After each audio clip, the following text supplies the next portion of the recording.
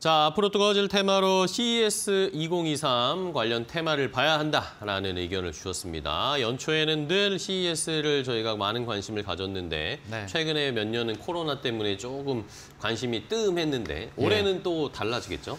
그 작년 코- 그 작년에 CES 할 때는 로봇 섹터들이 상당히 좋았잖아요. 근데 올해는 이제 좀 주목을 받을 수 있는 게 저는 이제 메타버스 쪽으로 보고 있거든요. 네. 그 안에서도 이제 XR이라든지 VR 기기 쪽에서 조금 기대를 갖고 있는데 작년에 보면 CES 기대감에 그러니까 이제 재작년이죠. 그때 12월쯤에 되면 이제 CES 관련주들이 조금 순환매가 돌면서 순차적으로 지수 자체가 올라가기 시작합니다. 근데 올해는 조금 상황이 조금은 달라요. 오. 지금 지수 자체도 많이 눌려 있는 상황이고 어, 관심주로 거론되는 것들이 뭐 로봇이라든지 뭐 메타버스 그리고 모빌리티 뭐 이런 쪽으로 볼 수가 있을 것 같은데 조금 과거에 비하면 모멘텀 자체는 좀 많이 약한 네, 것 같아요. 맞아요. 네. 그것 때문에 좀 옥석 가리기도 상당히 필요해 보이는 상황 이다라고 보면 좋을 것 같습니다. 과거부터 제가 XR이라든지 VR 기기에 대해서 추천을 해드리고 있는데 지금 이렇다 할 뭔가 미 증시도 휴장이고 글로벌 증시가 휴장이기 때문에 약간 좀 깜깜이 장세 속에서 뭔가 어느 정도는 확실해 보이는 섹터에 단기적으로는 좀 지켜볼 필요가 있겠다.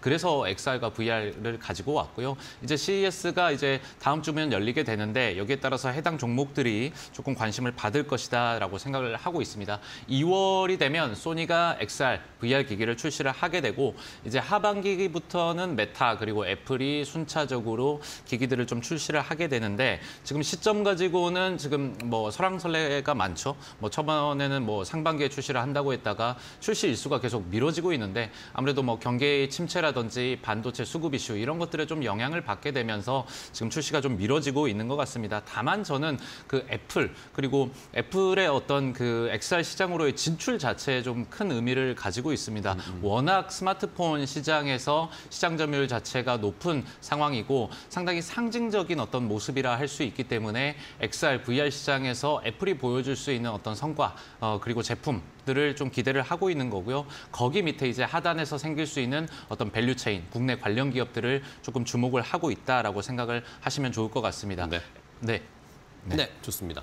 자, 그렇다면 종목들의 흐름도 봐야 되겠는데 말씀해 주신 것처럼 이번 CES 2023에서는 이 XR, VR 관련 기기들을 좀 예. 봐야 된다. 모멘텀을 받을 수 있을 것이다라고 네. 해주셨는데 어떤 종목들 흐름 좀 볼까요? 어, LG 이노텍은 제가 저번 달에도 한번 추천을 해드렸었는데 그 이후로 조금 분출이 있었다가 네. 조정을 받았어요. 다만 이제 다행스럽게도 손절가까지는 가지 않았기 때문에 네. 아직도 어느 정도 선호주로는 충분히 어떤 어, 스탠스를 유지를 하고 있고 아시다시피 LG 이노텍 애플향 매출 비중이 상당히 높은 상태 그리고 CES 2023 열리게 되면 이번에는 지금 최초로 부스를 공개적으로 전시를 하죠. 오. 과거에는 비공개였어요. 그래서 고객사들한테만 이제 LG 이노텍의 기술력을 계속 표현을 해왔었는데 이번에는 뭐 일반인도 마찬가지고 고객사가 아니더라도 LG 이노텍의 기술력, 카메라 모듈이라든지 다양한 어떤 어떤 기술들을 볼 수가 있기 때문에 오히려 이번 기회를 통해서 고객사가 조금 애플 외에도 조금 다변화되는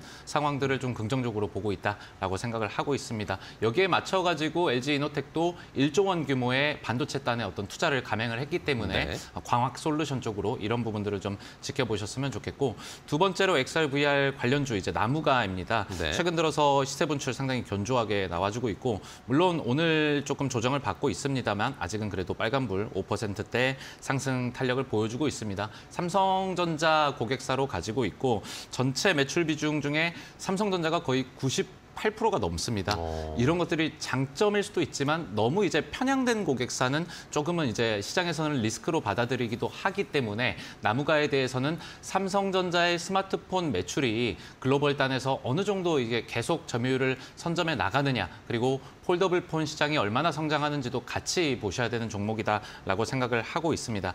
마지막으로 이제 뉴프렉스고요. 뉴프렉스도 이제 애플 관련주로 항상 거론이 됩니다. 그리고 메타에다가는 이미 납품 을 하고 있죠. 메타가 출시했었던 퀘스트 2 라는 XR VR 기기 있는데 기존에는 이제 뉴프렉스가 생산을 하고 있던 FPCB 이게 기기 단에 네개까지가 들어갔습니다. 네. 이제 앞으로 이제 신제품이 출시가 되게 되면 그 기기의 손잡이 부분에도 FPCB가 들어가기 때문에 전체 이제 공급 개수가 많이 늘어난다고 합니다. 두 배가 넘는 11개의 FPCB가 공급이 되기 때문에 XR VR 시장 성장 그리고 신제품 출시에 따라서 FPCB의 수량 자체가 늘어나게 되면 추가적인 상승 탄력 있을 수 있겠다라고 기대합니다. 네, 좋습니다. 자, 그렇다면 이렇게 XR, VR 관련 종목들 흐름 좀 체크를 해봤는데 이번에 그러면 CES 2023에서 가장 좋은 모멘텀을 받을 수 있는 최선호주는 뭘로 보고 계세요? 어, 최선호주는 APS 홀딩스인데요. 아, XR 네. VR 기기 오늘 다 나름 괜찮은데 네. 최선호주만 좀 많이 눌립니다. 네. 마이너스 6%대 네. 하락인데 그래도 21선에서 좀 지지가 나오면서 충분히 어떤 저가에서 살 수 있는 가격대다라고 생각을 하고 있고요. 음. 네. 최근에 좀 좋은 소식이 있었습니다. 초미세 FMM 공정 기술을 기반으로 확장 현실 그리고 XR, VR 기기 전용 이제 반도체가 나왔습니다. 이게 마이크로 OLED 디스플레이인데요. 지금 APS 홀딩스의 어떤 기술력으로 조금 어, 각광을 받고 있습니다.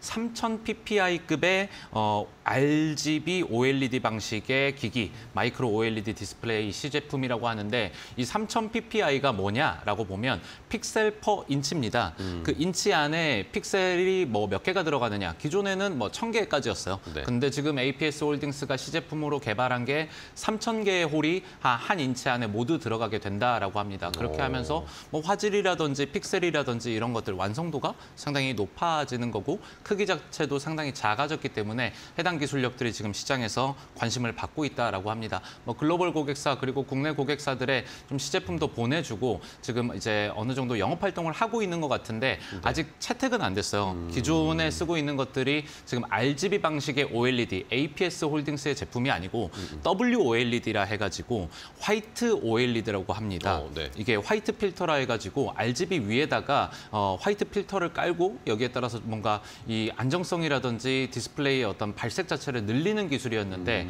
해당 기술보다는 지금 APS 홀딩스가 개발한 그 OLED RGB OLED 방식이 훨씬 발색도 좋고 네. 이 화질 면에서도 좋다라고 합니다. 이미 다른 기기에 지금 시제품으로 지금 붙어 있기 때문에 이런 부분들을 이제 이겨내려면 APS 홀딩스의 기술력과 어떤 영업력이 이제 내년 어, 올해 1분기부터는 조금 나와줘야 되지 않을까라고 생각을 하고 있습니다. 네.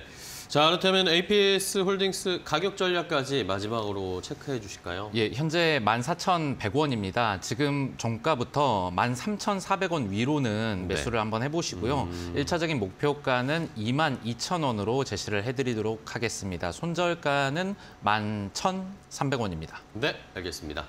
자, APS 홀딩스 결국에 이번 CES 2023에서 가장 모멘텀을 받을 수 있는 이 XR, VR 기기 관련 종목들 한번 여러분들도 잘 체크해 보시기 바랍니다. 자, 오늘 테마인 이슈는 기동현 대표와 함께 이야기를 나눠봤습니다. 오늘도 좋은 인사이트도 주시고 좋은 종목 소개해 주셔서 감사하고요. 다음 시간에 또 뵙겠습니다. 대표님 고생하셨습니다.